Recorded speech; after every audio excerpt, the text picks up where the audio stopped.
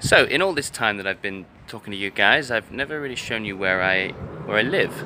So, let's do that. This is this is our house. Well, it's my girlfriend's house really, but I I live here. Um, yeah, it's three bedroom, three ensuite bedrooms. Pretty nice.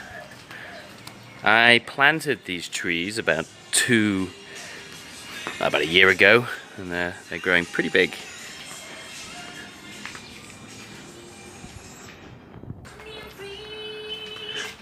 Say hi!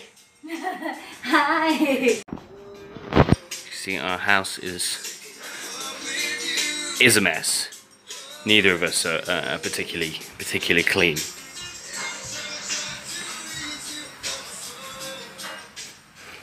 This is my little office area with my tools and stuff. Uh, and then yeah, then my uh, my girlfriend's soap making equipment because she has a has a has an e-commerce business too. But yeah, it's nice. It's functional. Yeah, it's nice. So what do I do in the day? Uh, usually wake up about 10 o'clock, 11 o'clock, go and get a coffee, go for a little run, something like that, and then uh, start work. Another thing that I've been doing is gardening. Got some pretty nice chilies growing here. Just need to wait for them to go red before I pick them. And then I've got a nice big lime tree. Although it keeps making little limes and then they fall off, I think it might need some nutrients. So I just got back from uh, a week's holiday with a friend in Koh Samui, and uh, yeah, it was pretty mental actually. Far too much fun and hedonism actually for a for a 30 year old man. So I've come back and I am trying to clean up my act and grow up a little bit. Uh, I've quit smoking. I've been smoking for uh, 16, 16 years, maybe 15, 16 years, uh, and I'm currently on day three of of quitting cigarettes.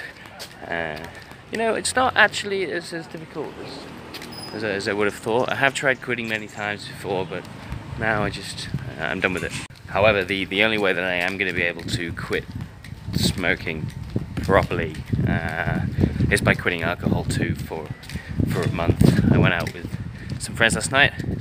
They were all drinking. I uh, I just drank water. Uh, and you know what? I, I felt great. I felt great this morning.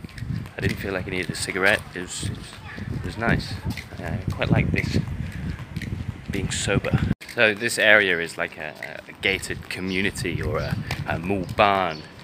a surprising number of people live in live in uh, in these private villages. Really, they have 24-hour 24-hour guards.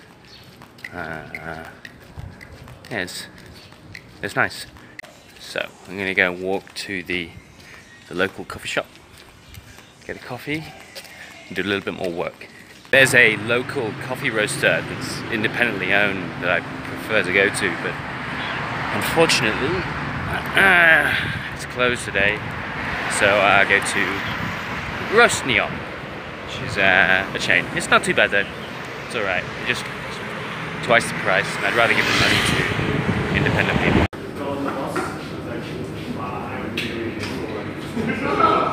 My coffee.